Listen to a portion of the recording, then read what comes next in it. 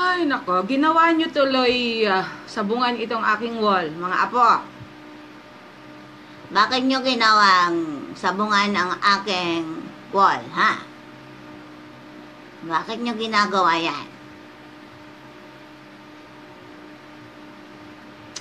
Okay, as you can see on my post right here, ha, Beb J. Shifuji. Ayun, siya pala yung first na nag-comment dito. Anyway, kaya nga ako napilitang ah, mag-live ngayon dahil, di ba sabi ko, tapos na yung pagla-live ko kasi nawalan na ako ng sponsor.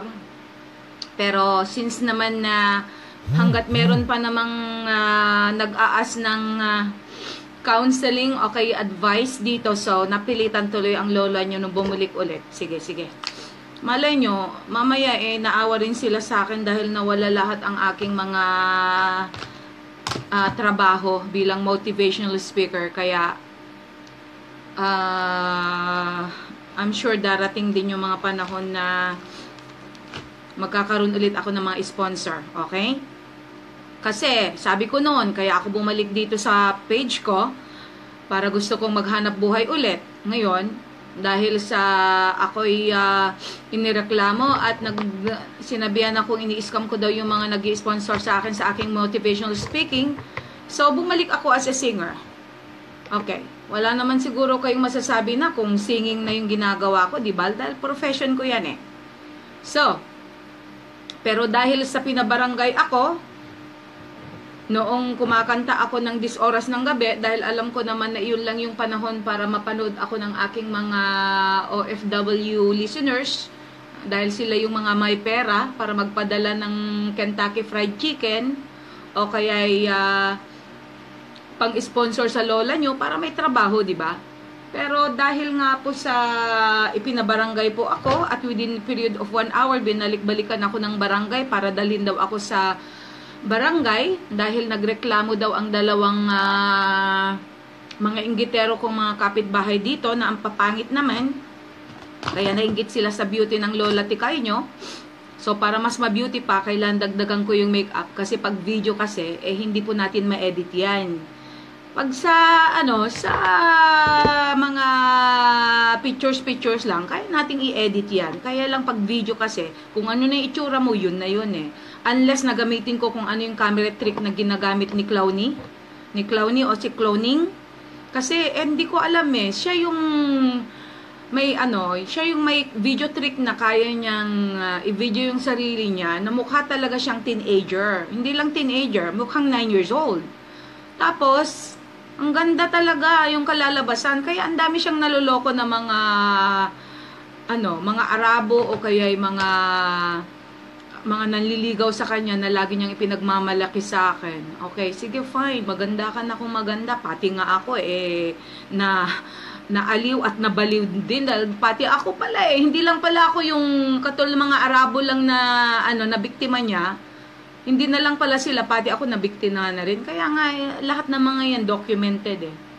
Tapos ngayon sinasabihan niya si Pauline. Pauline Hana Samora Tulod sinabihan ba naman niya na ako daw ang nag-edit kaya daw siya gumanda ng sandali lang sandali lang talagang pinakita ko at talagang in-screenshot ko lahat na yung mga yung mga naipalabas na mga photos niya, eh, ang ginawa ko doon pag-edit, make-up lang. Pinaglaruan ko, pero magdamag kong pinaglaruan na i-edit na sa make-up, ha? Para gumanda naman yung, ano, yung mga pagmumukha niya sa mga pictures. Kaya nga naipalabas na maganda siya, eh. Pero yung pagiging itsura niya na parang bata at uh, payat, na maganda, eh dahil yun ay kagagawa niya. At na-screenshot ko lahat na nanggaling talaga sa kanya yung mga photos na yun na talagang totally napakalayo eh. Ako, pag ako, pag hindi edited, yun pa rin yung nakikita nyo. Pati katawan ko, ganun pa rin, di ba? Unless doon sa mga dati ko ng pictures na talagang sexy ako. Pero yung mga pictures ko ngayon, eh, hindi ko pinagkakaila na talagang ako eh, hindi na ganun ka-sexy at talagang kung ano yung mukha ko talaga, nakikita nyo na eto yung mukha ko at eto, pag na-edit, eto yung ano. Eh, siya, idinemanda na daw ako dahil pinalabas ko daw yung mga totoong pictures niya. Sandali lang. Eh, kung ganun na pala na isasampa ang kaso, dahil sa pinalabas mo ang totoong picture niya, eh, naidedemanda na pala, eh, eh siguro naman, marami na tayong pwedeng idemanda dyan. Marami na sigurong pwedeng magdemanda. Tapos yung pinalabas nga niya na, ano, na ako daw yung dahilan bakit daw ah, nagasgasan at dumugo yung pekpek niya o yung pipi niya o yung puki niya, eh, hindi na maganda talaga yon That's the reason why I had to come up with my evidence na sandali lang, sabi ko, eh kung ganun pala ang ah, problema, eh ba't hindi niya ipalabas yung ah, ano, result ng kanyang medical test? Dahil ang isang tao, hindi pupunta at magpa-medical kung talagang wala talagang nangyari sa kanya na isang ah, injury, kapansanan o sakit. Okay. Now, kung ang pinapalabas niya na dahilan ng kanyang pagdugo o kaya paggasgas ng pekpek niya ay yung pagka sinasabi niya na dinivirginize ko daw siya. Sandali lang, kailan ba ako nagkaroon ng titi? Ha? Hindi ko alam na ang lola tikay niyo na pala eh ano, ah, pinalabas na pala na ano, naka-virginize na pala sa isang matagal ng paulit-ulit ng na-disvirgin. Because she claims to be na lumaki daw siya, adopted daw siya, at minolest siya daw, sexually assaulted, sexually molested by yung kanyang, ah, kung sino-sino yung mga nag-adapt sa kanya. And then she's married, and she's now 35 years old, pretending to be 9 years old. At pinapakita mga pictures niya na akala mo, isang teenager pa na talagang virgin pa. And then all of a sudden, ako na ngayon na may kasalanan. Sandali lang. Kaya, I am, uh, I am daring her na talagang ipalabas niya kung ano yung uh, result ng kanyang medical test. Para sa akin, para madepensahan ko naman yung sarili ko, I know already kung bakit siya nagpa-medical. Kasi, nung after, right after na nag-stay kami doon ng 2 days, 2 nights, And then kinaumagahan, tiningnan ko, akala ko, kung ano yung nandito niya, akala ko, yung namaga, ay yung ano lang, yung, alam mo yung laway, akala ko yung laway na, ano, di ba, na, naging dry na. Akala ko ganun lang eh, pero, ano, bumubukol na puti, na ganun. Tapos pinunasan ko, ay sabi ko, ito, may herpes ito dahil I know, hindi ako tanga, I know what is herpes. Herpes is something na tumutubo dito, di ba? Na butlig-butlig. So, siguro yun ang dahilan. And I'm sure, hindi lang siguro, because I am the witness na nakita ko yun. Kung meron kang butlig dito, ibig sabihin, may herpes ka. Herpes is something na tumutubo dito sa lips mo, at meron ka na rin doon. Kaya I am sure na yun ang dahilan kung bakit siya nagpa-medical. Pagkatapos isinisisi niya sa akin na ako daw ang nakagasgas sa pekpek, ma, pekpek niya, well in fact, by the time na sabi ko, oh, ito palang gusto mo ha?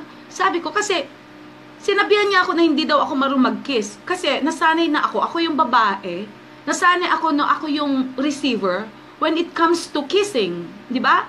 Nasanay akong ganun eh. So siya yung lumalaplap sa akin. Eh naman, dahil hindi nga daw pala ako marunong ano, so I wanted to do something sa pamamagitan ng kamay ko. Eh at that time nung nag-travel ng kamay ko papunta doon sa baba, eh in-stop niya ako, ayaw daw niya. Talagang klinos talaga niya yung kanyang pekpek.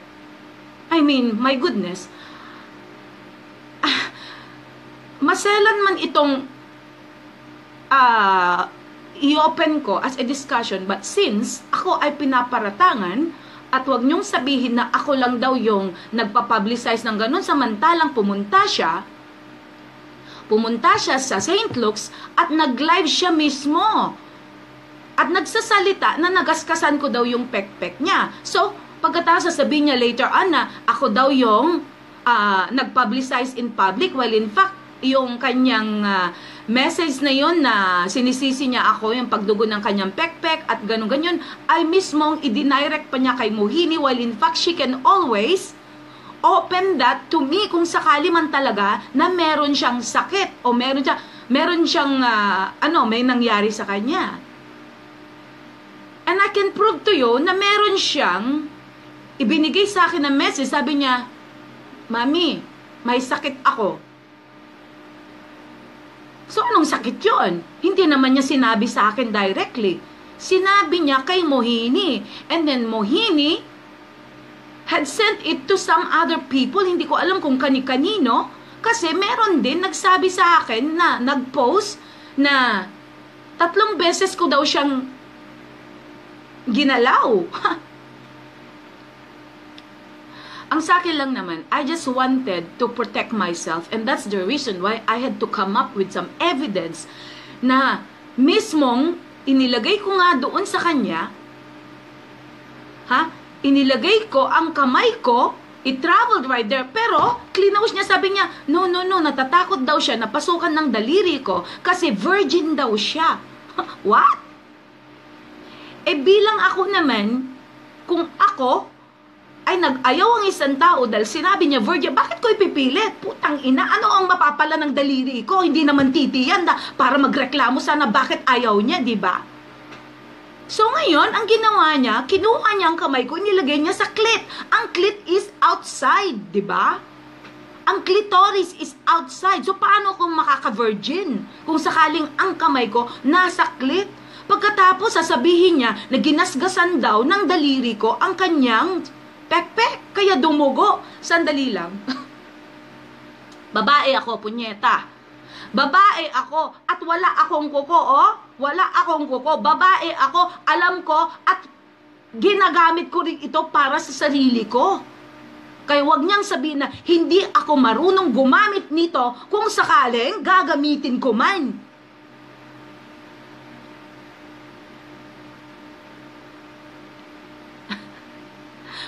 Ako ang expert when it comes to daliri dahil ako ginagamit ko rin ito kung sakali man nakikipagtalik ako sa aking asawa dahil nakakatulong pa rin ang daliri kung sakali man na gusto ko ring laruin habang nakikipagtalik ako sa asawa ko. Putang ina. At alam na alam ko kung paano gamitin ito dahil expert ako dito. Kaya wag niyang sabihin na ito nakakasuga.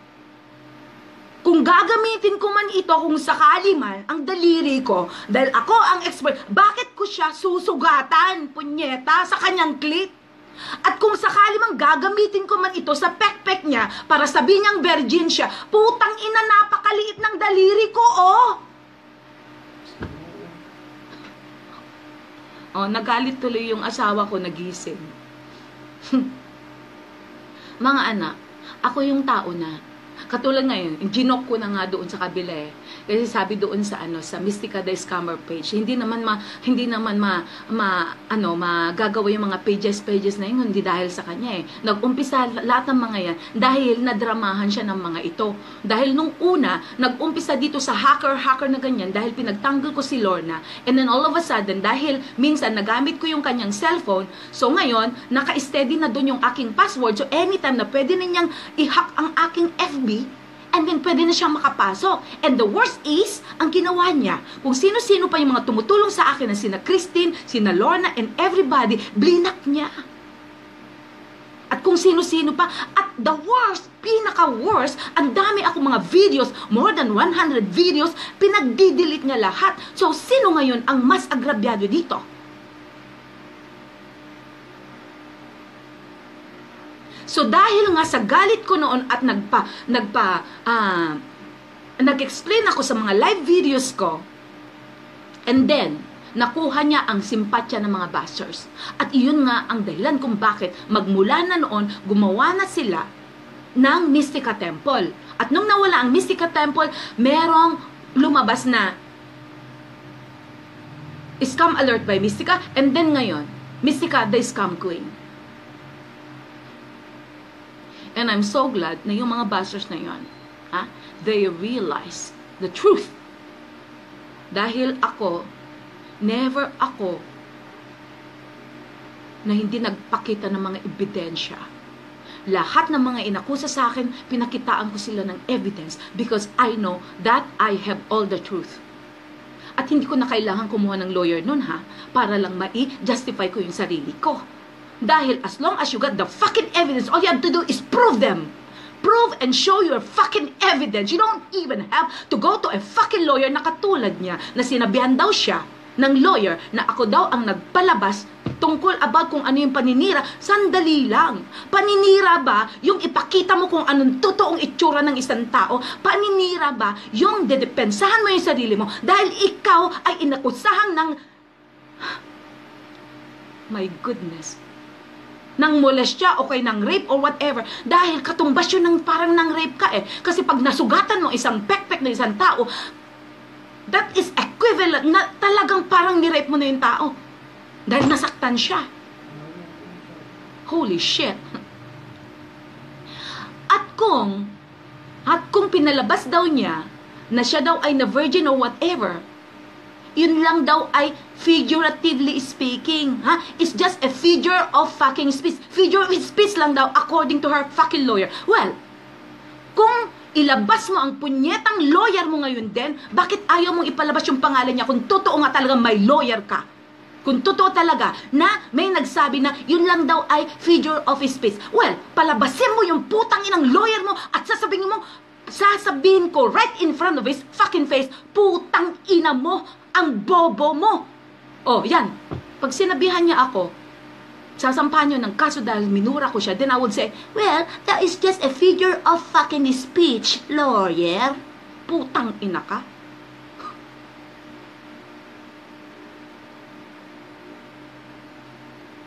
So, ganun-ganun na lang ba? Pwedeng mag-akusa ka na ni-rape ka o sinaktan mo, ang sinaktan ka ng isang tao at palalabasin mo na siya ay nang molestya sa iyo dahil pumunta ka sa isang hospital at pinalabas mo na ako ay sumirkit sa iyong pekpek. Pagkatapos all of a sudden, sasabihin mo lang sa lawyer na, He's just a figure of fucking speech. Tanga yung lawyer mo kung ganon. So magmula ngayon, ha? Kung meron kayong ebidensya, hindi na kailangan payamanin mo pa yung lawyer na yan dahil napakabobong lawyer na yan. Kaya siguro, ha? Kaya siguro nagsasalita nga ng para, ituloy mo yung demanda mo sa, sa ano, against sa akin at kunin mo yung punyetang lawyer na napakatanga niya. Hindi niya alam kung ano ang figure of speech, hindi niya alam kung ano yung totoo talaga na ang isang tao, oras na sinabihan at ini-live show ka niya at sinabi na sinaktan ko ang pekpek niya. Obviously, that person herself has the intention to destroy me. Pagkatapos sasabihin ng lawyer, yeah, this is a fucking figure of speech. Gago, tanga, bobong lawyer na yan. Ipakita mo, pakilala mo kung punyatang, kung sino yung punyatang lawyer na yan. Sasampaling ko. Putang ina niya. Kaya no, when I dared you to show that fucking lawyer kung sino siya, anong pangalan niya, bakit ayaw mo ibigay sa akin? Eh kung talagang nag-complain ka din sa CIDG, dahil sa pinalabas ko yung mga totoo mong picture, totoo mong mga, lahat ng mga ebidensya. Ha? Dahil ako, mas malala yung mga ebidensya ko against sa'yo. Dahil kung dahil sa'yo, hindi ako nasira. Hindi dahil sa'yo, ha? Hindi nasira ang pangalan ko. Hindi nasira ang pagiging motivational speaker ko. Hindi nasira pati yung mga sponsors ko. Hindi nasira pati yung mga ini-sponsor nila na mga products. At hindi rin masira ang aking singing career. Pati ang aking pagkatao nasira dahil lang sa'yo, punyeta ka. Pagkatapos mo, sasabihin, figure of fucking speech lang yon Tanga! If there is somebody who deserves ha, to go to hell at magkaroon ng karma, you! Punyeta ka? Akala mo nakalusot ka, ha? Akala mo nakalusot ka na, ha? Dahil nakuha mo ang simpatya ng mga bashers ko. Well, punyeta, tingnan natin ngayon kung kanino ngayon. Kanino kakampi yung mga bashers ko, ha? After all na naipalabas ko ang lahat ng mga ebidensya ko, laban sa'yo, punyeta ka. Hindi mo alam kakampi ko na sila ngayon? Putang ina mo. Paulit-ulit. Paulit-ulit ang drama mo. Ako lang siguro ang nakapagtyaga sa'yo and you were even the one who said it na lahat na ng mga friends mo na wala. Putang ina, eh kung ganyan ka naman talaga drama, ha? Sino ba naman ang magtatagal sa'yo? Ako lang. Dahil ako napakatanga. Dahil ako sobrang napakahaba ng pasensya ko dahil sa'yo. Pero, itong pinalabas mo na ngayon, na ako ang sumira sa pekpek, may putang ina ka, ibigay mo sa akin ang medical, medical result. Dahil ikaw may herpes ka, punyeta ka, because I am the one who can testify that. Putang ina, inaantay ko. Pag nagka-herpes ako, putang ina ka. Dahil ang isang herpes, pag nak- nakipaglaplap ka, kahit dito lang ha, magkakaroon na rin. Kasi, ano yan eh, nagtatransmit yan eh. It's a sexually transmitted disease. At kahit hindi ka nakipagtalik sa akin, for example, doon, pero nilaplap mo ako. At ikaw din nagsabi na hindi ako marunong humalik, kaya ikaw mismong lumaplap sa akin. At para lang naman makaganti sa paglaplap mo sa akin, kaya pinagapang ko ito. Pero punyeta, ha? Ito na pala, ha? Criminal na pala itong ano na. Putang ina mo. Sinabihan mong sinaktan ko? Eto, nakaka-virgin na pala itong daliri ko. Putang ina, liit ng daliri ko, oh. Saklit lang ito napunta. Nakadisvirginize na pala ng isang matagal nang hindi virgin. Tapos ako pa ngayon ang sinampahan daw niya sa CIDG. Sabi ni Mohini. Eto naman si Mohini, dahil pinalabas ko yung screenshots, hindi niya alam na matagal ko na pinost dito. Kung dati kakampi ko si Cloney, ngayon hindi na. Pagkatas kumakampi siya doon. Ngayon nang pinalabas ko yung mga screenshots, ako na ngayon na masama. Wala daw siyang ginawa kundi kampihan ako. Punyeta kung talagang kumampi ka sa akin. Eh ba't nandiyan ka? Sa isang baliw na yan. Oh, nagsabi ko na isang baliw. Well, that's just a figure of speech. Your Honor. Putang ina mo. Holy shit.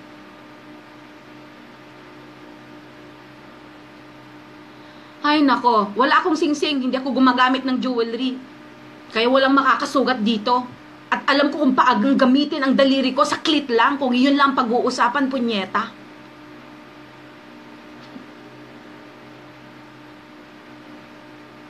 Sabi ni Wilfredo Pavilion na ipak, sabi niya, very entertaining. Oh, sige, very entertaining. Kaya magmula ngayon, ha? Hindi na ako, hindi na lang ako motivational speaker or hindi na lang ako isang guidance counselor, entertainer niya pagdating sa mga gitong bagay. Kung gusto pag-usapan tungkol sa clit, tungkol sa tite, tungkol sa lesbianism, tungkol sa kung ano-ano man pagdating sa sex or whatever, bakit nga natin ikakahiya ito? Ha? Di ba lahat tayo nabuo dahil lang sa sex? Hmm? Kaya nga kanina, ha? Oh, kung ano man yung pinalabas nila doon sa ano, hindi na ako nagalit doon sa kabila. Sabi nila, kung meron daw akong sex video, ba't hindi ko daw ipalabas para ma-prove talaga na walang nangyari sa amin ni, ni Cloney? Sabi ko naman, mga anak, common sense. Alam nyo na, na nakita nyo na lahat pati paglaplapan namin, o kahit, yung, ano, kahit yung mga pag-sex namin ng Papa Troy nyo, eh nakita nyo na lahat-lahat, lahat-lahat. Pati yung pagtai ko, nakadocument lahat. Eh, yung pag-divergenize ko palang, pa, yung pag-divergenize ko pa kaya sa isang matagal nang hindi virgin, putang ina. Ba't hindi ko i ba't hindi ko i-video? Oh, kaya lang, wala nga nangyari eh. Kaya wala akong video. Dahil kung totoong nangyari yon, eh di sana, nandyan na lahat. Alam nyo naman ang lola nyo, walang nakakalusot. Pati nga mga, mga ano nyo sa akin, di ba? Mga messages nyo sa inbox, lahat, inilalagay ko dyan para alam nyo Walang nakakalusot. Lahat ng mga nagme-message sa akin mang inbox ko, ha? Oras na nagtuon ako ng pansin ng oras sa inbox ko, ibig sabihin, ha? Because that is something. It's either entertaining, is either makakapagbigay ng aral, is either something na ikakamuhi ng lahat or ikakamuhi ko. Oras na sinagot kita, you expect that your messages will be on my fucking wall. Okay?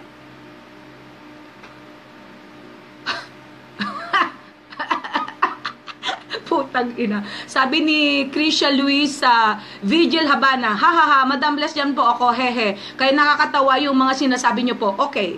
Di ba matagal ko nang inamin nung kay Lorna pa? Di ba sabi ko? Ha? Ha? Di ba sinabi ko sa inyo na ako pumatol na dati sa isang tomboy? So meaning to say, ako yung babae, ako yung receiver. At alam ko, ha, na ang isang tomboy, magaling magpagad, mag, magpasarap yan ng babae. Mas magaling pa nga yan kaysa sa lalaki kung minsan. Kasi babae siya eh. Ang isang tomboy, marunong siya kung paano niya ha, paligayahin ng babae. Kasi babae siya eh.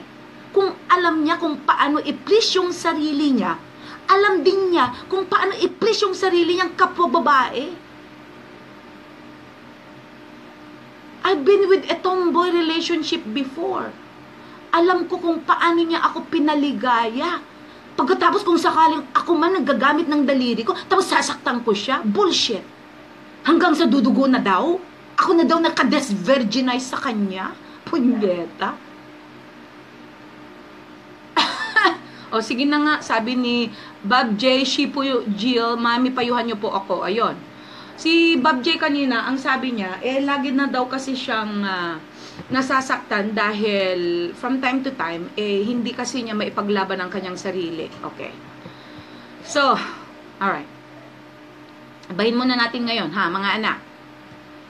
Ah, kaya nga ako pumunta dito dahil sa kanya eh. Kaya siya muna yung ano. Siya muna yung ah, anuhin ko. So anyway, Alright.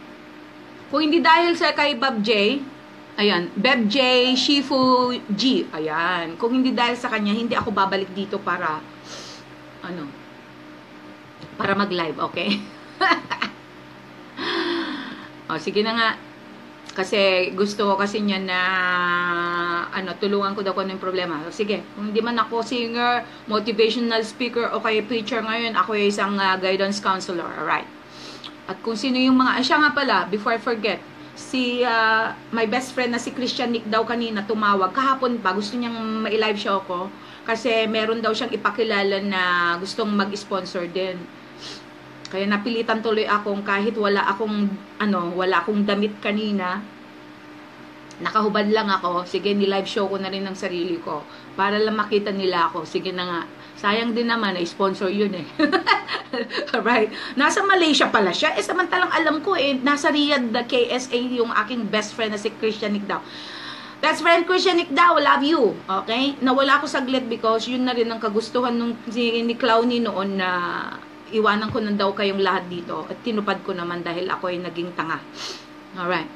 So, eto si, sino to? Beb J. Shifuji. Okay. Sabi, Ma'am Shi, how to be strong person? Nagse-self-pity ako ngayon. I feel so worthless. Sabi niya. O, sabi ko naman, eh, please share your story here and I will discuss it on my live show later. O, ayan. Siya ang dahilan kung bakit ako nandito. Kaya bigyan ko siya ng panahon. Mga anak, ha? Okay po, sabi niya. Kasi po, mami, Mamsi pala, mamsi. Kasi po, mamsi, di po ako marunong dumepensa para sa sarili ko. O, ayan. Yan kasi. Hanggat tao kayo, kahit ngayong hayop, marunong dumepensa sa sarili eh. Hanggat tao kayo, okay? Kaya niyong dumepensa. It's just a matter of choice. Alright? Tahimik lang ako kasi nasasaktan na ako ng iba. Di ko alam kung ano dapat kong sabihin. Ayaw ko din po na makasakit ng iba. Okay. So, ibig sabihin, hindi na daw bali siya yung nasasaktan, ayaw lang daw niyang makasakit sa iba. Okay, fine. At feeling ko na ako na ang pinakabobo sa lahat ng lupa. Okay, pinakabobo, sandali lang. Kung naging bobo ka, naging bobo din ako, anak. Kaya nga ako nandito eh. Ha? Kaya nga ako eh, nandito. Ha? Kaya ko nga iniwan ng lahat-lahat ng mga tao dito na sumusuporta sa akin dahil lang sa isang tao na nag-control o kay nag-manipulate sa akin, nagdrama sa akin, na katulad din kung ano yung ginawa niya sa iba, na sila ay naging bashers ko dahil sa kanyang drama, dahil sa kanyang mga kasinungalingan, dahil sa kanyang pag-manipulate sa, kan- sa kanila, na ako yung masama. So, hindi lang ikaw ang bobo anak dahil ako naging bobo din. Alright? Alright. So, wag mong sabihin na ikaw nang pinakabobo sa pinakabalat ng lupa kung yun mga nasa utak mo. Di ko alam kung nagkulang ba ako o di lang talaga sila kontento sa mga ginagawa ko. Okay. Ano bang mga ginagawa mo, ha? Hindi sila kontento. Alright. Nakakaloka talaga. Parang, para na ako nasisiraan ng bait. Sandali lang. Hindi lang ikaw nasisiraan ng bait. Ako, Tima, tingnan mo itong action ko ngayon. Para na ako nasisiraan ng bait. Yeah? Everybody has has the time para kung minsan parang nawawalan na bait, di ba? When you are mad. See? I am mad. Meaning to say, ano ba ang ah, Tagalog ng mad? Ha? Ha? Nawawalan na rin ng bait. Dalawang ibig sabihin ng mad. It's either you are mad, na talagang you are a mad, crazy, or mad na ikaw ay galit. Okay? So, use that word mad. Okay? So, hindi lang ako din sa mga ginagawa ka nakakaloka para ako nasisira ng bait. So, ako din nasisira ng bait ngayon. Ayaw ko din i-share sa parents ko para di sila mag-worry. Malayo po kasi ako sa kanila. O, di ba kaya nga ako nandito mga anak? Kasi naghanap nga ako ng pamilya. Kaya sinasabi ko na ako ang nanay nyo dahil ako na ngayon ang parents nyo. Go. So, ngayon, kung ayaw mo, kung ayaw nyong magsangguni sa parents ninyo, andito ako. Kaya ka ngayon nandito sa akin. Dahil alam mo na you feel free. You feel comfortable talking to me. Okay, good. Kasi po, mami, di po ako marunong dumipensa para sa sarili ko. Okay, so, idepensahan kita ngayon. Total, nandito ka na rin lang, ha? Tahimik lang ako kahit nasasaktan na ako ng iba, di ko alam kung ano dapat yung sasabihin ko. Ayaw ko din po na makasakit sa iba. Sandali lang. Pareho lang pala ito, inuulit-ulit lang eh. Okay, dalawang beses niya palang isinan yun. O, sige, sige. Fine. Okay. So, dahil nga sa ikaw ay tahimik lang at ayaw mo talang idepensa sa sarili mo dahil natatakot ka na masaktan sila. Well, from now on, darling. Okay? Katulad ng sinabi ko, kahit nga mga aso, pusa, kung alam nila na sila yung sasaktan, sila na talaga yung uh, nabibiktima or sila na talaga yung uh, na-provoke dito and then there's always a tendency that you have ha? You have to defend yourself. Ibig sabihin, kailangan protektahan mo ng sarili mo. Lumaban ka. Lumaban ka. Kung dati-rati, tahimik din lang ako. Pero, punyeta, dahil lang sa yung mga ganyan cases sometimes, pag puno na, pag sobra na, mapipilitan ka na talang lumaban. So, ngayon, you have to let them know na ikaw ay napuno na. Okay? Kaya kung ano yung paniniras nila sa'yo or kung ano yung sumasagabal ngayon sa loob mo, para ano, tanggalin mo yan. Tanggalin mo yung wall na naka, ha, nakasagabal dyan para ikaw ay lumaban. Let it all out. Let it loose, darling, ha? Let it loose, okay? Gibain mo na kung ano yung ng pader na uh, ano, ano yung uh, sumasagabal sa'yo para lang ipaglaban mo kung ano yung dapat mong ipaglaban. That's the only way, darling. Dahil hanggat hindi ka nagsasalita, they will never read you. They will never read your mind. Hindi nila mababasa kung ano nasa utak mo. Ha? Hanggat hindi ka nagre-react, hindi nila alam kung galit ka, kung ikaw apektado, kung ikaw ay sinasaktan nila. Unless na sinasaktan ka na nila, eh, wala ka lang sa well, ibig sabihin talagang tanga ka kung ganun. But I know you are not. And that's just the fact na lumapit ka na sa akin, meaning to say, talagang napuno ka na rin. So you have to let them know kung ano yung bumabagabag sa loob mo. Sabihin mo ang totoong nangyari. Hindi masama na sabihin mo kung anong totoong nangyari. Ha? Mas maganda yun kaysa yung uh, nagpapanggap ka na okay-okay lang. Because you will be the one to suffer. Hanggat hindi mo sinasabi, nilalabas ko ang nasa loob mo, you will suffer for the rest of your life. Kaya yung mga ganon, mostly yung mga ganon, nagkakaroon sila ng depression. Ganon nangyari sa akin dati. Well, take it to me, take it from me because ako pinagdaanan ko na lahat. Kaya ako nagkasakit, kaya ako nagkaroon ng post-traumatic stress disorder dahil talagang ayaw kong i-voice out. Tiniis ko. Tiniis ko dahil sa sobrang uh, proud, ano, pride ko na ayaw kong malaman ng iba na I'm already in this kind of situation kaya hindi nila alam kung ano nangyayari sa akin. Pero the moment na talagang I have let it all out at sinabi ko na this is the problem. This is what's killing me. And that's when I release everything and then now I am free. Okay? So, yun lang anak. Yun lang. Alright? Let it all out. Let it all hang loose. And then after that, you are free. So, yun lang may payo ko sa'yo. Alright. Ayan, si Krisha Luisa Vigil kanina, Habana, ayun, ginawa nilang uh, sabungan itong aking, ano eh, ginawa nila baka na kaninang sabungan itong wall ko. Sino ba yung isa? Si Sarah Jazz. Ayan. Sarah Jazz or Sarah Jazz eh. Okay. Krisha Luisa Vigil Habana. Ayan. Si, isa si Sarah Jazz noon na tumulong sa akin when I needed some uh, help nung ako'y nagkasakit. So, uh, I just wanna let her know na thank you so much once again. At kung sino sino yung mga duma, uh, ano, yung mga dating tumutulong din sa akin, kung sino yung mga sponsors ko dati rin, okay? Alright, sino pa nandito? Oh my goodness. Nagka-heartburn na naman ako. Sandali lang. Meron akong ano dito. Yon. Pang heartburn. Galing din ito kay Cloney. Ayan. Ninang, Alaya Rose Juan. Oh, ang aking inaanak dito pala. Hmm? Dito. Hello, my dear. How are you? Hmm. Ah, sino pang may problema dito? Hindi lang ako ang may problema. Pangit kung ako na lang lagi may problema. Kaya, magpakita rin kayo ng problema nyo, ha? Hmm. Okay, Krisha, Luisa, Vigil, Habana, sorry na po. O, sige na, sorry. Alright. Nag-sorry natin si Krisha, Vigil, Habana kasi kanina, meron akong pinost dito na galing doon sa um, Mystica the Scam Queen. Yun nga, yung hinahanap nilang video para lang mapatunay kung totoo nga ba talaga yung accusation ni Clowny. Clowny. Clowny, okay? Kahit sasabihin kong Clowny, hindi naman niya pangalan niya, punyeta eh. Hmm? Kahit sa nga ba, iaano ko yung mga picture niya dito, di naman talaga siya yun eh, punyeta. Ibang tao yun eh. Ang totoo niyang picture, makikita niyo dito. At walang tao, ha? Walang, walang tao na magrereklamo na ilagay yung totoong picture niya. Siya lang. Ibig sabihin talagang may topak ang utak. Oh, naglagay akong totoong picture niya ngayon, dinimanda ako. Hello? Paggamit din daw pangalan niya, eh punyata, hindi ko alam kung anong pangalan niya. Ang dami siyang mga ginamit ng pangalan eh. Lima. Hanggang ngayon, hindi ko pa alam. Oh, my goodness.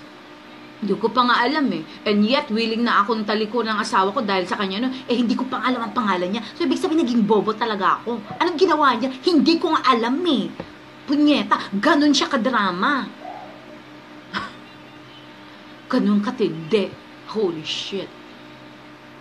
Kung nasabihan man niya ako na iwan ko na kayong lahat mga anak ko dito, ginawa ko yon. Pero nung sabihan niya ako na wag ko na daw isasama ang asawa ko, hello? Ano ko? Ha? Bobo? Willing na ako talagang iwan ng asawa ko noon. Kaya sinabihan ko siya na, sandali lang, pag pumasok na ako sa lesbian relationship, ibig sabihin talaga, I have to choose. Is either siya o ikaw. Kasi hindi ako pwedeng mamangka sa dalawang ilog. Kaya I even, I even chose to be with her para hindi na lang siya masaktan. Dahil sabi niya, ayaw daw niya, ha? Pagdating daw sa lab, ayaw daw niya na may kaagaw siya. Gusto niya solo lang daw niya ako. Eh ako naman, sige, total ikaw, anak ko naman kita, anak naman kita, lagi naman kitang tinuturing na anak ko na. So, di ba? I'm just gonna go with her, sabi kong ganun. Eh ito naman, sabi niya, sis, asawa pa naman daw niya ako, eh, bakit? May karapatan siya na tingnan din ko anong kapakanan ko. He was willing to guard me kasi hindi ko alam, hindi niya alam kung baka daw may, mamaya may mangyari nga sa akin. Eh wala pang nangyari, punyeta. The next thing I know is nirape ko na. Sinaktan ko na yung kanyang pepe. Holy fuck. Eh paano nga pala pag iniwan niya ako? Hinayaan niya ako na makadate ko siya lang dahil yun nga ang naging dahilan kung bakit kinansel niya. Na ako naman, sandali, parang laro, nilalaro kaya niya ako, sabi ko. Sasabihin niya, Ha? Magde-date kami. Pumayag na nga siya, nakasama ko ang asawa ko. Pero ang gusto niya, isasama ko ang asawa ko, pero iiwan namin siya sa isang bar. Hello? Ang asawa ko hindi naman mahilig mag-bar. Ano ang tingin niya? Gago? So, noong hindi pumayag ng asawa ko na ganun ang magiging sistema, then kinancel niya. So, siya yung nag, naglalaro lang. At ilang beses na rin siya nakikipaglaro sa akin. Kahit ipalabas ko lahat kung ano yung mga nagiging communications namin. Puro drama, puro drama. Mamait maya magpalabas siya ng emoticons na the whole nine yards, ganun. Ang emoticons, kahit nasaan ako, kahit nandun ako noon kay, kay Boss Janine sa birthday niya, nagpapala sa emoticons, punyeta. Pati asawa nga niya. Mismo ang asawa niya, naka-video call sila. Siya mismo nagsabi, Oh, drama here, drama there. If she do this, drama. If she do that, drama. If she go there, drama. If she talks there, punyeta. Mismo asawa nga niya mismo, nagsabing siya ay drama queen. Tapos nung pinalabas ko, drama queen. Tapos ako na ngayon, ang nilagay, ano niya, sinampahan niyo ako ng kaso. Pumunta daw siya sa CIDG. O, di magpakita siya ng, ano, magpakita niya ng ebidensya na punta talaga siya sa CIDG. Lalabanan talaga ako. Kaya nga sabi ko kay Muhin eh, bakit hindi niya ako inano din sa ano, kay Tulfo, o kaya sa, sa TV, para at least na pagpistahan na talaga kami at makikita na talaga kung sino talaga ang totoong itsura ng isang cloney. Nako. Mapapapunyeta ka talaga.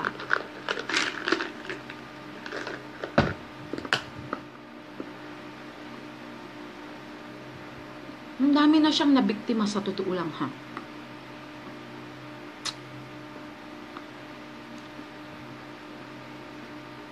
Di ba sinabi po ni Lord na kailangan po magpakumbaba? If someone is slap you in the in the face, it, it let it turn the other one. Paano po 'yun? Okay. Alright. Ganito 'yun, anak. Lahat ng mga 'yan ay symbolic, hindi literal. Figurative, okay? Figuratively speaking. Ang Jesus Christ na pumunta dito sa baba, Total, pinag-usapan mo na rin lang yan. Inilabas mo na rin yan eh. Si Jesus Christ na pumunta dito sa baba ay may plano kung bakit siya naging tao. Because Jesus Christ was the Word. Okay? Sabi ng Biblia, John 1.1, In the beginning there was Word, and the Word was with God, and the Word was God. So, sino yung Word na nagkatawang tao? Siya yon. Because sabi niya, the Word was God. And who is God? God is the invisible. Spirit lang yon. Okay. Noong bumaba siya dito bilang tao, yung God na spirit na yon, ano ang pinagbahayan niya? Tayo, tayo na mga tao. We are the temple of God. Kaya kung ano ang dumadaloy sa katawan natin, yan ang espiritu ng Diyos. At kung ano ang mga ginawa ni Kristo dito ay idinemonstrate niya na ito lahat ang mangyayari dito sa lupa. Kaya may mga panahon na nagmumura din siya dahil ayaw nga niya sa mga taong hipokrito. Kaya nga sabi niya, you fools, you hypocrites. Ha? Kayong mga ulupong, yan ang mga tinatawag na mga hypocrites dahil naka nakabasa lang ng isang verse na katulad niyan eh yun ang isinasampal sa iba. Yan ang tinatawag sa mga tao na every time na nagmumura ako, yan ang sinasampal nila sa akin.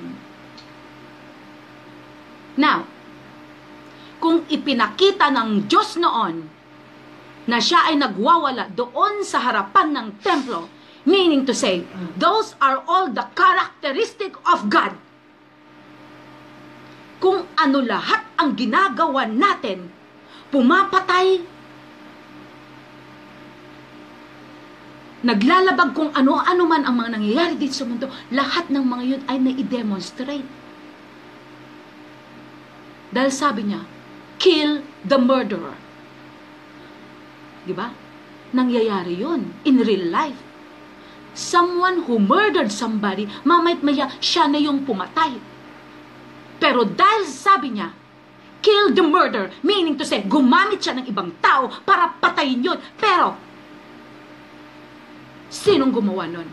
Siya. Bakit may mga kulog, kidlat?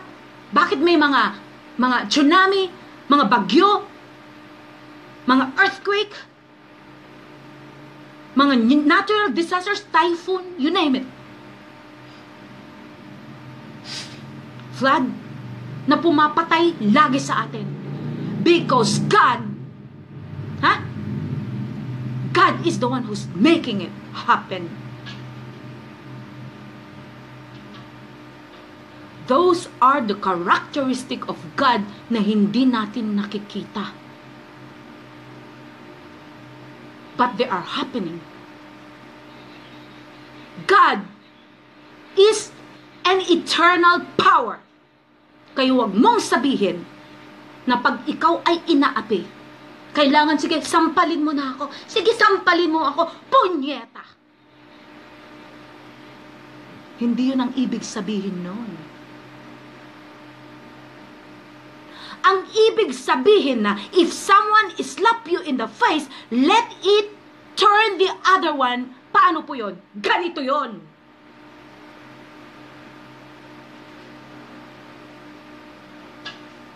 God loves us. But God judges us. And when He judges us, He punishes us.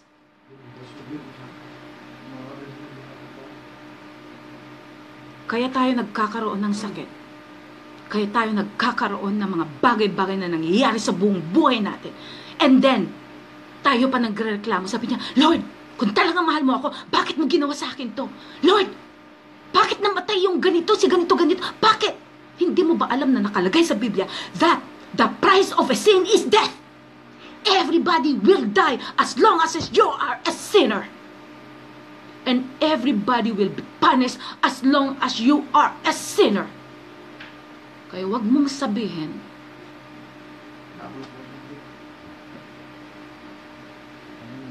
na iyon ang gusto ng Lord na kapag sinampal ka, naggumawa ka ng kasalanan sa kapwa mo or gumawa ka ng kasalanan sa Kanya, all you have to do is let it slap here, let slap there. Huh? Let that person slap the other the other side also. No, no darling. Lahat naman yun ay symbolic. At pagkatapos niya tayong parusahan, at pagkatapos na natin, nadama kung ano yung, yung bangis ng parusa ng Diyos, ano ang gagawin natin? Tayo ay hihingi ng patawad, di ba? And after we realize our sins at humingi sa Kanya ng tawad, what is next? Ano ang ibinibigay niya sa atin after that? Love, yon. So, yun ang ibig niyang sabihin. Because He loves us,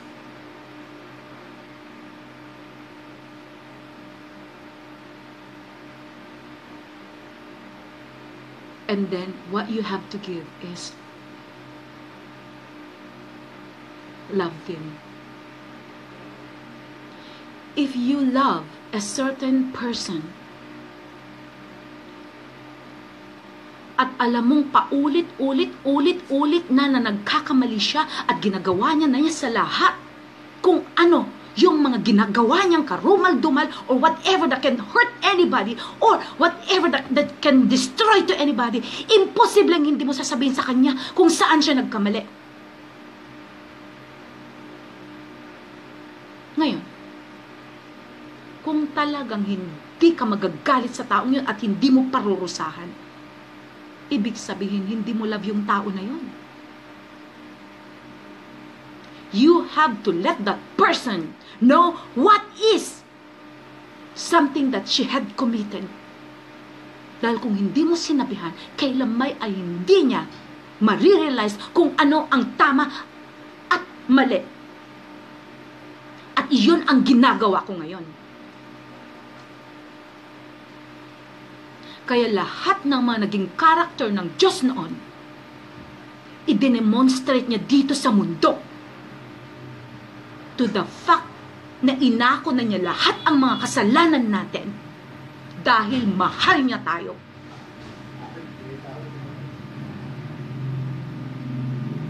At ganun nga ang ibig sabihin nun.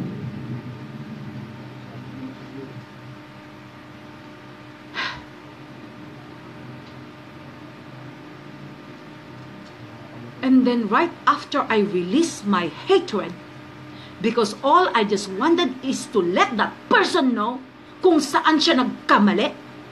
Lahat ibinuhos ko na yung galit ko. And what is left?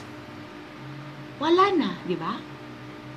Oras na naibuhos mo na yung galit mo sa isang tao, all of a sudden, bang! Anong natira? May natitira pa bang hatred? Wala na. Naubos na. So what is next? Love. Yun ang ibig sabihin nun. Yun ang ibig sabihin nun. Na right after na sinampal ka, but that doesn't mean na ibigay mo pa ito. Ano, gago? Holy shit. No, that's not, that's not what it meant. Kahit nga ang isang hayop is either ang isang tuta, a dog, a cat, oras na prinovoke mo yan, anong isusukli niya sa'yo? Ha? Ganon din ang isusukli niya sa'yo. Ha? If somebody will judge you, di ba yun din ang isusukli sa'yo? I-judge ka rin? Hahanap din yung tao na yon ng isang bagay, isang butas para i-judge ka rin. Di ba ganon? Ngipin sa ngipin, pangil sa pangil, mata sa mata, kamay sa kamay, di ba ganon? Kaya kung ano ang ginawa mo sa isang tao, yun din ang ibabalik sa'yo. And that is what is happening. Kaya kung ako, sinira ako ni Cloney, at minanipulate niya lahat ang mga buzzers ko para ibas at sirayin ako. And then what is happening now? Ha? Nagbubumerang, bumabalik sa kanya kung ano yung ginawa niya sa akin.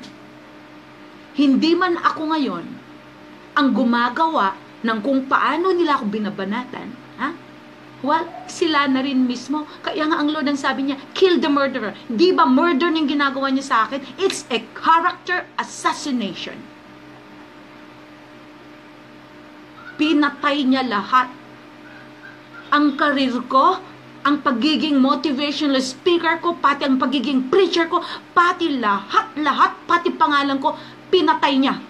Meaning to say, mas masahol pa ito sa isang murderer. Kasi yung murderer, kahit papano, pinatay na niya, wala na eh, tepok na. Ako, pinatay ang lahat-lahat, inagaw ang lahat-lahat sa akin, and yet nandito pa ako, nararamdaman ko pa yung mga sakit na idinudulot niya sa akin hanggang ngayon. Kaya kahit sabihin nyo na ako yung lumalaban ngayon, and yet everything is damaged, it's done. Akala niya siguro, everything is finished? No, it's not finished. It's not over yet.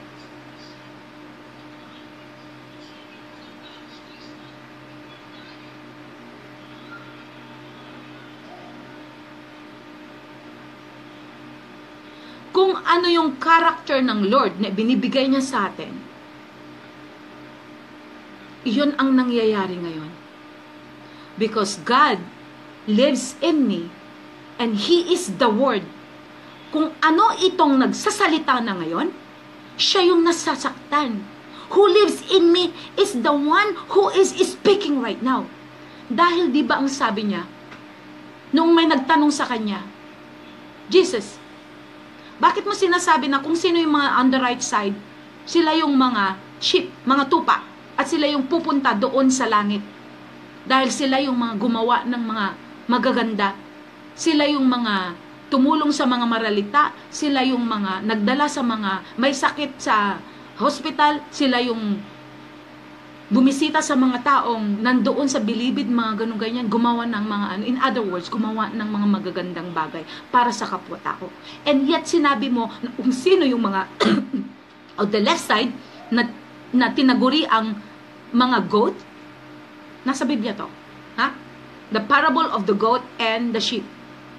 Kung sabi mo na kung sino yung mga nasa left side, eh sila yung pupunta sa impyerno. Kasi sila yung mga hindi tumulong kung sino yung mga ano and then you're claiming na sinabi mo na noong lumapit ako sa inyo, hindi nyo ako tinulungan. Naging pulubi ako, pero hindi nyo tinulungan. Kumatok ako para humingi ng tulong because I was I was very hungry. I was very thirsty, but you didn't care about me. Oh, kailan ka? Kailan ka nagiging nagpapalimos? Kailan ka nagiging poor? Kailan ka nagiging ganito, ganyan? Tapos ano mo sabi ng Jesus Christ? Kung sino yung lumapit sa inyo at hindi nyo tinulungan, yun ay ako. Because what you did to that person, that's what you did to me. Period.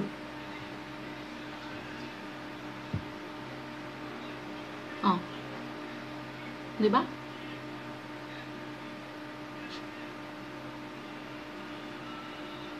Yun ang ibig sabihin nun. Pati nga yung sinasabi na, sa, pati nga yung mga sinasabi nila na, yun, katulad niyan, yung sinabi mo na, Ah, it means po, we should love our enemy. Yeah. Just like what you love your, how you love your family, how you love your, your sister or brother. But, ano ba ang sabi sa Biblia? Trust no one but me. Because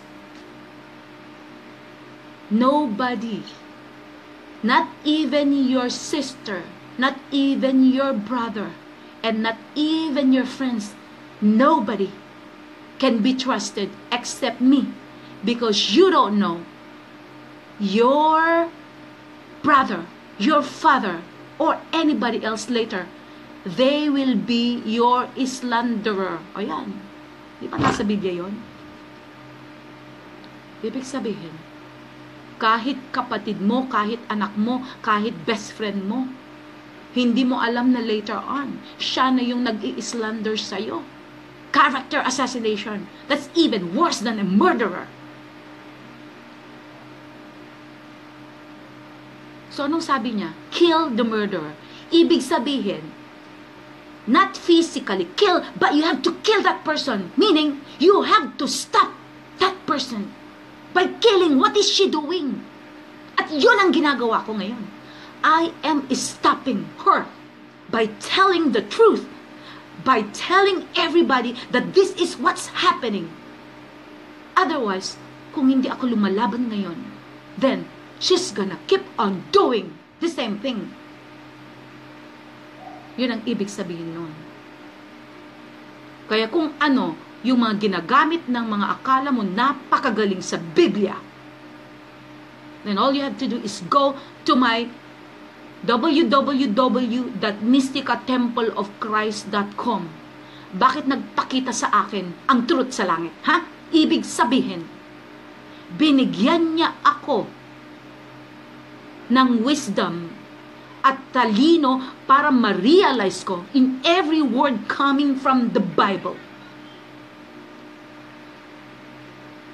Kung nagsasalita ako, that is no longer me saying things, but it's coming from Him because He is the Word of God. Kung sino man yung pumunta dito sa baba, that is the Word of God. We are all the symbol of Christ. Lahat itong binuo niyang mga katawan ay symbolic lang ito para pagbayhayan niya because according to the Bible, we are the likeness of Him para maipakita sa inyo kung ano ang itsura ng Diyos. Ngayon, ano ang itsura ng Diyos? Ito, katawan ko. Sino at kanino ang espiritong nakatira sa katawan na ito? Ang Diyos. Because sabi niya,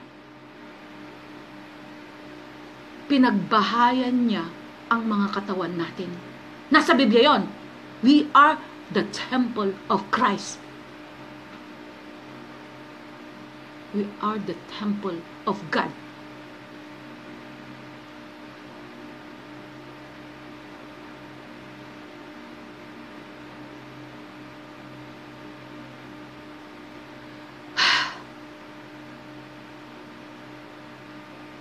And yet, binigyan tayo ng choice kung ano ang gusto nating gawin.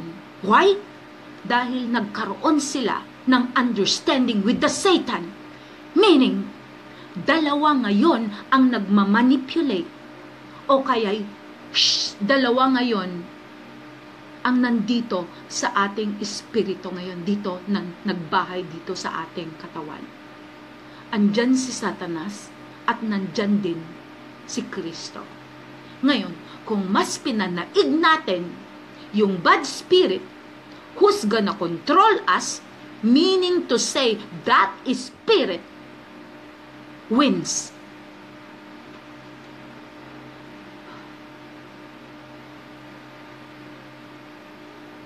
Kaya there's always a spirit of darkness. There's always the spirit of jealousy, spirit of stealing, spirit of whatever, any crimes in this world, there's always a spirit that lives inside us dahil hindi natin magagawa yung mga bagay na yun kung wala yung espiritu na siya mismo ang gumawa at kumontrol sa atin at nagmanipulate sa atin because there was an agreement between God and Satan para na rin malaman ng Diyos kung sino talaga ang totoong nagmamahal at loyal sa Kanya. Kaya nga ako ginawang si Job or Job, J-O-B, sa Biblia, na nandun na noon lahat-lahat ang kayamanan. Pinagkaloob lahat ng Diyos sa Kanya ang kayamanan.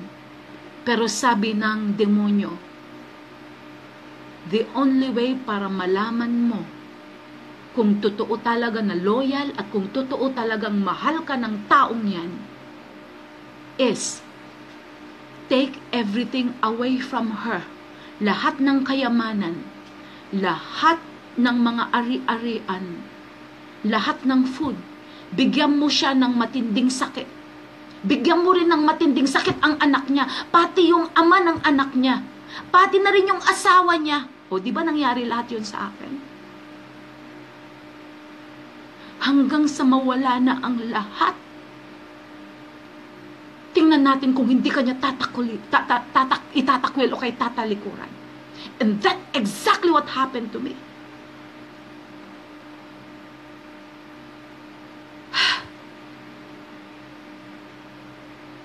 Talagang I told God, God, kung talagang totoo ka naman talagang na Diyos ka, bakit kinuha mo sa akin ang lahat?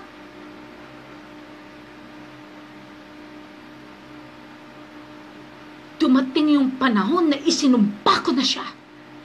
Sabi ko, kung ipinanganak ako sa mundong ito para lang mag-suffer, Lord, bakit ganito ang ibinigay mo sa aking buhay? Ibinigay mo sa akin lahat ng una and yet, kinuha mo, binawi mo rin pala lahat.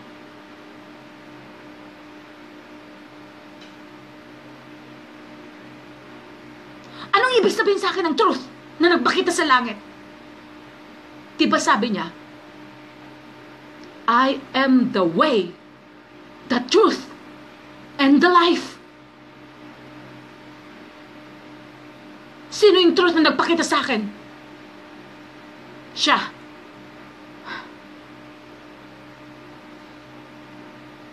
Na hanggang ngayon, hindi ko pa maintindihan kung bakit. Pero, Like nakikita nyo ngayon kung ano nangyayari sa akin. Lahat ito ay may purpose kung bakit ako nagkaganito para sabihin nyo lahat, sabihin sa inyo lahat kung anong gusto niya na malaman ninyo. Because He wanted to show you the truth. He wants you to understand what is the truth.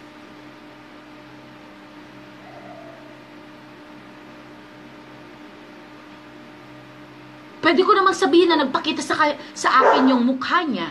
Nagpakita sa akin yung mukha ni Jesus Christ or whatever. Pero hindi yon Hindi yun ang nakita ko. Truth na sumabog sa langit. Tingnan nyo sa website ko. Nandoon. Paulit-ulit ko na rin gina... Paulit-ulit ko na rin sinasabi sa inyo kung ano yung mga testimonial ko.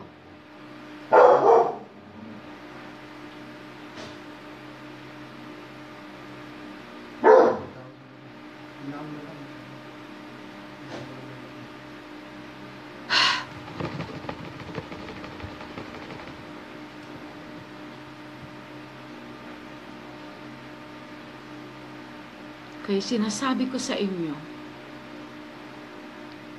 kung ano yung mga nagiging testimonial ko na paulit-ulit ko nang sinabi, yun ay dahil yun ang totoo. I can always come up or make up any statement. Pero dahil yun ang totoo na nakita ko, yun ang dapat kong sabihin sa inyo.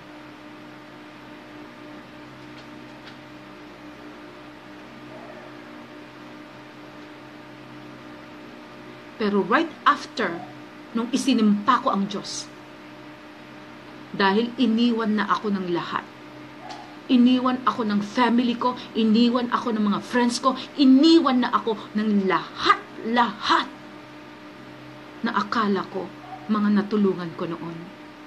Na akala ko mga sumusuporta sa akin. What was left? There was nothing left except God.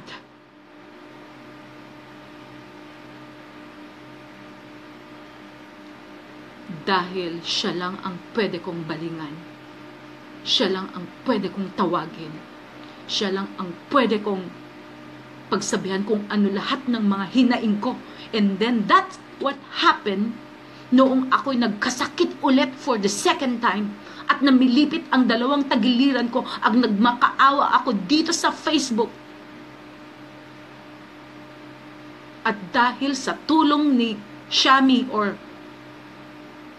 Shamrock, siya Kim. Shami siya Kim from Korea. Nadala ko ang sarili ko sa hospital. Pero anong nangyari? Right in front of my face, meron yung isang mama na nung pagdating ko doon, pinapainom pa siya ng kanyang anak. And yet, after a few seconds, bigla na lang nasa, nasa harapan ko. Nag-aagaw buhay na pala. And that was the moment when I put myself in Him. Sabi ko, Lord, kunin mo na ang kaluluwa ko. Ilagay ko ang kaluluwa ko dito sa namamatay na tao dito. Ito sa mamat na to.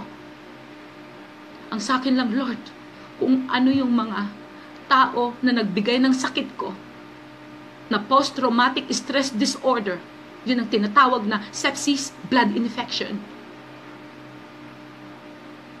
Isusuko ko na.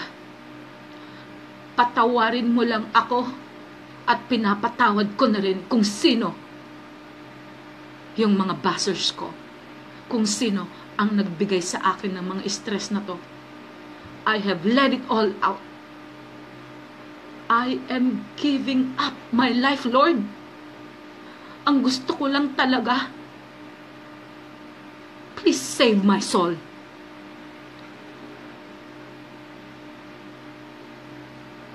And right after that, iminulat ko ang mga mata ko. Nakita ko na yung mamang yon patay na.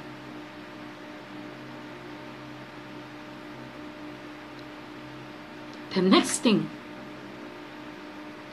nung dumating ng test result ko, for the second time na ako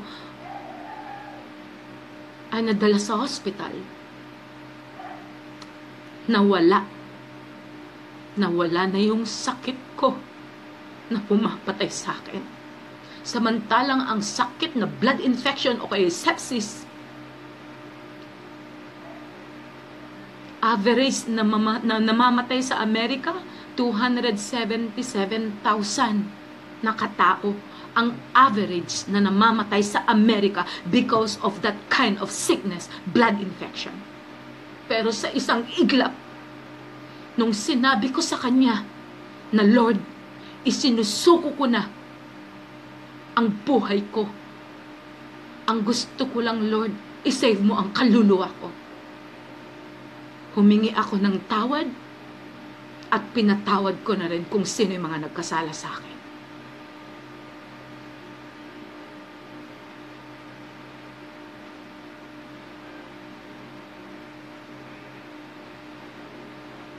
Ganyan ako kamahal ng Diyos.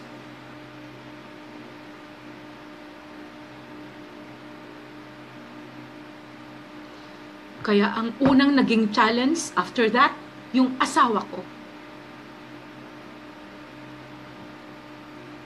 Dahil nakikita ko noon na walang ginawang asawa kundi punta ng gym. And I even told him, kung sakali maghiwalay tayo because of gym, it's not J-I-M, kundi J-Y-M. Pero hindi bale, isang araw, tatapiking ka rin ng Lord. Sinabi ko, the next day, bigla siyang nadulas, natumba, bigla nabalian.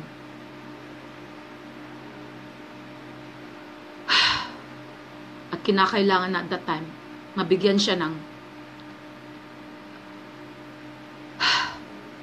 ng brace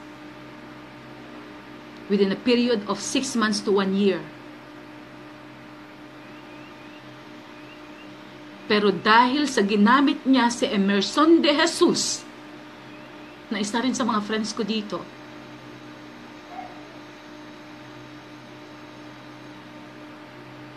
kinamit niya siya para tanungin ako kung ano ba ang mas uunahin ko, yung pangongolekta ng tulong na 70,000? Or ipag-pray na lang daw namin? Sabi niya, ilagay mo yung kamay mo kung saan yung na-dislocate. Ginawa ko yun. In a period of one minute, tinanong niya, o anong nangyari? Himala. Starting then, na igalaw na niya na walang sakit. Na ibeben na niya na wala ng sakit. Dahil yun talaga ang number one noon na bumabagabag sa akin. Sabi ko, Lord, kahit nga binigyan mo siya ng sakit, ang sa akin lang, Lord, hindi ko kayang tanggapin na every time na bineben niya o kaya ini-stretch niya yung katawan, masakit. Masakit daw. Bigla na lang siyang nanlulupay-pay, natutumba, bigla.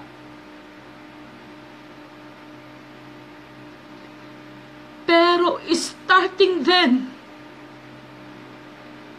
ibig sabihin, merong mission ang Lord. Ginamit niya si Emerson de Jesus. Ginamit din niya ako. So, anong nangyari? Nangolekta pa ba ako ng 70,000 para sa brace, para sa, para sa, para sa professional fee ng doktor at pati bayad ng hospital? Wala pa yung gamot doon. Because according to Emerson de Jesus, it's about time to show that God makes miracles. And you have to acknowledge it.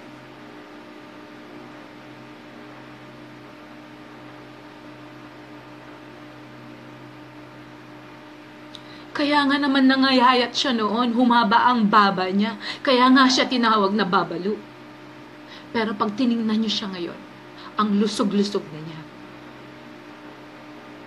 Kinailangan pa bang dalhin siya ulit sa hospital para lagyan ng brace and spend 70,000 at mag-spend ng 6 months to 1 year na kailangan daw bedridden na siya, na kailangan daw talaga na ipahiga siya ng ganong kahabang oras para naman nag-aalaga na ako ng patay at that time, living dead. Kung ganun man ang nangyari. And thank God, hindi nga nangyari yon. Pati yung anak ko, dahil sinabihan siya noon na he has two months left to survive. Pero tingnan mo, buhay na buhay. Yung ama niya noon, sinabihan ng doktor, three months. Nakatani na buhay niya because of colon cancer. Pero ilang years na? Seven years. Buhay na buhay. Meaning, hindi pag-i-split ang ibinigay na role ko dito sa mundo. Ginamit ko lang yon as temporary noon para makapaghanap buhay at para ma-save ko ang pamilya ko. But each of us ay nakatakdang may purpose dito sa mundo. At huwag niyo ring sabihin na yung mga tomboy, mga bakla ay makasalanan because you don't know na mas makasalanan pa kayo. Because just by judging those people, Meaning to say, nagkasala ka na. If you judge, meaning you will be judged.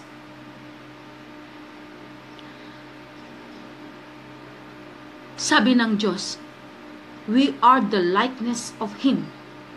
So it's either tomboy ka, pangit ka, isa kang matanda, isa kang mataba, isa kang payat, palito, babalo. Sabi ng Lord, we are the likeness of Him. Kaya pag hinusgahan mo ang isang tao, meaning to say, hinusgahan mo siya. Sino ang nag-create sa atin? Ang Diyos. At pag nilait-lait mo o kapag sinira mo ang isang taong yan, meaning to say, sinira mo rin siya. Dahil yun ang sinabi niya. What you did to that person is what you did to me. I-demonstrate niya lahat ang mga bagay-bagay na mangyayari sa mundo through mga taong create niya. Meaning to say, ginawa itong katawan na ito para pagbahayan niya because He is the invisible Spirit. And the Spirit, according to the Bible, is God. At kung ano ang lumalabas sa bunganga natin, kaninong salita yan? That is the Word of God. Because according to the Bible, in the beginning there was Word. And the Word was with God. And the Word is God. Connected yung Spirit with the Word. Who lives in me is the Spirit. And who speaks for this Spirit is His Word. And according to Him, we are the temple of God. So, nandito ngayon ang Diyos. Itong katawan na to ay ginawa niya na katawan ni Mystica. But the one who lives in here is Him. At kung sakali man namatay na ang katawan na to at nag-decay na, nabulok na, meaning to say, lumabas na, iniwan na ako ng espiritu niya. Kaya hanggat nandito pa sa loob ko ang espiritu niya, and according to Him, I am the eternal power. Nasa Biblia yan. Meaning to say, ang Diyos ang nagsasalita ngayon. And whose spirit itong powerful na lumalabas. It's Him. And that is the truth. So don't take every word in the Bible literally because everything right there is symbolic. Bakit symbolic? Dahil kung masyadong klaro ang mga words na nakalagay sa Biblia, dapat wala nang nagdedebate. At siya mismong nagsabi na kaya daw puro mga parables ang sinasabi niya, kaya hindi nga siya maintindihan noon because he said, I will only give that words of wisdom to somebody I will choose. Kaya pinili lang niya kung sino yung mga makakaintindi. At yung mga bulag, hindi nila kailanman maiintindihan dahil nagbubulag-bulagan sila. But, dahil God made the blind see. Oh, hindi literal yun ha. Yung sinabi niya na may mga blind na bigla na lang nakakita. Hindi totoo yun. Kaya yun ang sinasabi ngayon ng mga iba't ibang mga pastor na sila pwede nilang makakita yung mga bulag. That's not true. Ang ibig niyang sabihin, yung mga blind na nakakita ay yung mga blind of truth.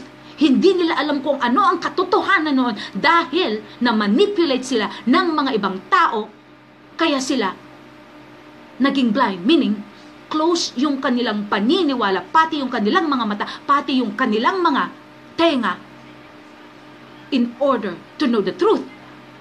But when Jesus said, I can make the blind see, meaning to say, once na napasukan na ng Diyos ng kanyang espiritu, yung mga tao na matagal nang nagbubulagan, and that's when they were able to open their eyes, and now they can see the truth. Yun ang ibig sabihin nun.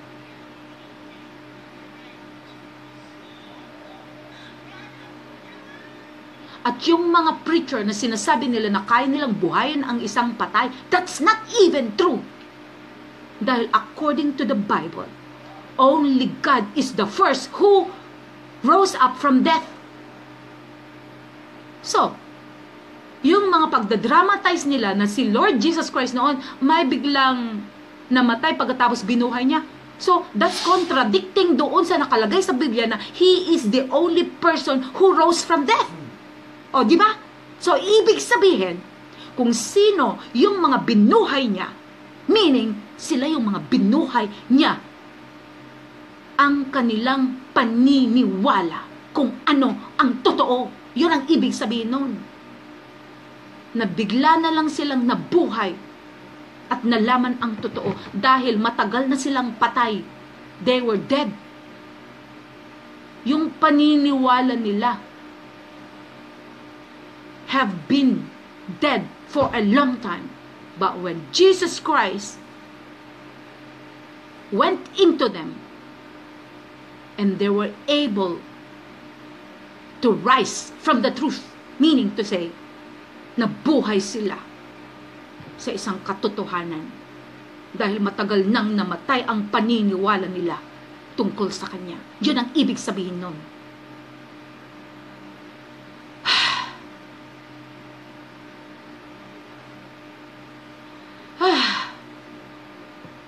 So, hindi natin pwedeng sisihin kung sino yung mga nagsasabi na, o ganito ito, ganito ito, kasi yun ang nababasa nga nila. All I am saying is, you have to realize its context because you don't know na iyan ay isang, ha? Isang salim, halimbawa na isang palab, ano, para, parable yon Palas, palaisipan maraming mga nasa Biblia na hindi lahat-lahat ay naiintindihan ng husto ng mga iba't ibang mga tao because they don't know. Patay ang kanilang paniniwala. They are blind for the truth. They don't know because they're taking everything literally. Katulad ng ginagawa mismo ng mga iglesia ni Kristo. Sayang at ginawa pa naman nila na iglesia ni Kristo, ginagamit nila ang mismong pangalan ng Diyos na Kristo Samantalang they are not even considering Him as God. But the Son of God,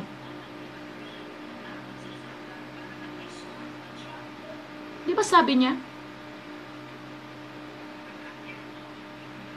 The Word is God, and the Word became flesh. That itself, hindi na kailangan pang magdebate doon. The Word became flesh. The Word was God. The Word became flesh pumunta dito sa baba, dinemonstrate kung ano nangyayari sa atin dito, kung ano naging karakter niya natin, ha? Yun ay mga nag-demonstrate through Him, at kung sino-sino namang gumagawa ng mga masama, katulad ginagawa ng mga do, dahil because the spirit of the Satan, who is a deceiver, is in us also. So tayo na mismo ang pipili kung kanino tayo magpa-control, magpa-manipulate. It's either with the Satan or with the Lord. Hanggat nandito tayo sa buong mundo, andyan ang kasalanan because nandyan si Satanas sa atin. There is the bad spirit and the good spirit. The Holy Spirit belongs to the Lord and the bad spirit belongs to Satan. And sabi niya, I am the life Meaning, lahat ng mga living thing, lahat ng mga gumagalaw, o lahat ng mga ano, that is Him. Power, everything that has power, is Him.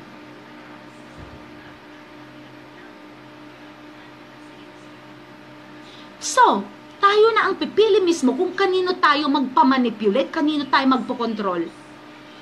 Katulad niyan, sabi ni, sino to? Itong nag-ano ng uh, problema niya Beb J. Shifu G. Okay. Ngayon, hirap na hirap na daw siya dahil hindi niya kayang lumaban. Kaya hindi na daw bale, pinapaubay na lang yung sarili niya na siya ay nasasaktan. Ayaw daw niyang sumakit sa iba. Well, if that would be the case, there is the spirit in you, darling. So right now, I'm going to cast that spirit away. Lord God, kung sino man ngayon ang nagmamanipulate at kumokontrol sa katauhan ni Beb J. Shifuji, please, arrest that spirit and take him away from that person. Right now, Lord. At lahat ng mga buzzers ko, please, arrest those spirit and take them away from me. Because those are the spirit of the demons. Kung gusto mong isave ang mga kaluluwa ng mga yon, ginamit lang sila. So right now, Lord, cast them away, those bad spirit, right now, in Jesus' name. At lahat ng mga bumabagabag ngayon, dito kay Beb J, arrest them right now, Lord, and take them away. Take them to the pit where they belongs because they don't deserve to stay on that person. Because according to you, Lord, katawan mo, pinagbahayan namin. But it's because hinayaan niya na yung mga spirit of the demons ang kumontrol at nagmanipulate sa kanya, then they are the ones who are living right there. And now this person is suffering. So arrest that spirit, Lord, and take him away from this person in Jesus' name. Amen.